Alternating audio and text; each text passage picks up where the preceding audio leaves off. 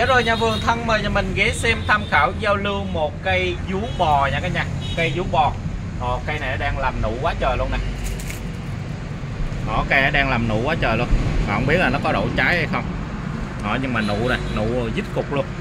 Đó, nụ mà quá trời nụ luôn. Đây nè, cành nào cũng có nụ đó Đó.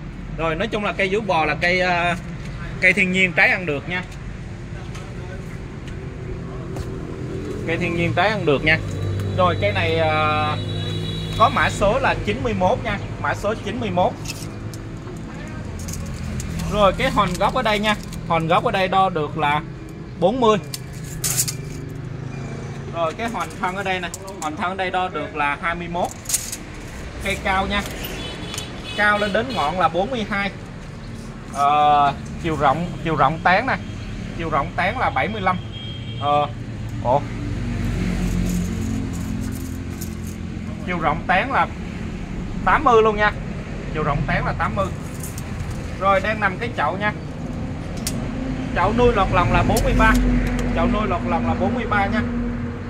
Rồi để mình à, xem cái à, trái của cây vú bò nè. À...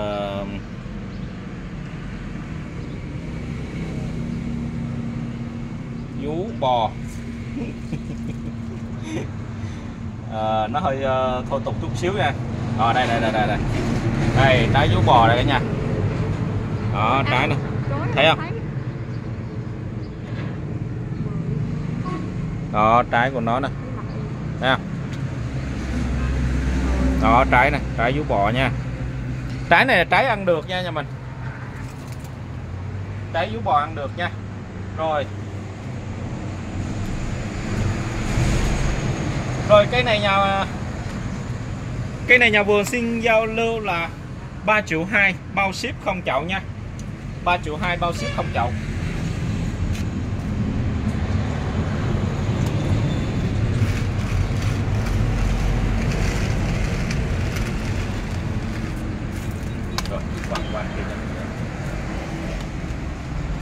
Cái phần à, cái phần trắng trắng xám xám đây là cái phần à, thân khô lũa nha đó cái này về nếu mà mình ờ, thích nổi lên thêm nữa thì mình quét màu lũa lên.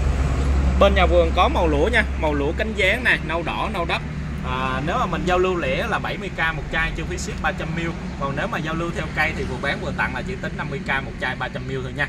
Đó. Rồi cây vú bò mã số 91 này nha. À, nhà vườn xin giao lưu là 3 triệu 2 bao ship không chậu nha. Nhà mình xem tham khảo luôn. Cái này về mình lên cái chậu mới nữa là ok thôi. Ho này ho này quá trời luôn.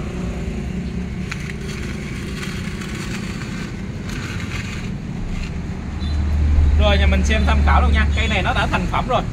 Nó đã thành phẩm, ok luôn rồi. Cái này về mình chỉ lên chậu ờ, đẹp nữa là ok thôi nha. Rồi, mã số 91 là một cây vú bò 3 triệu 2 bao ship. Không chậu nha. Rồi, nhà vừa xin qua cây này luôn.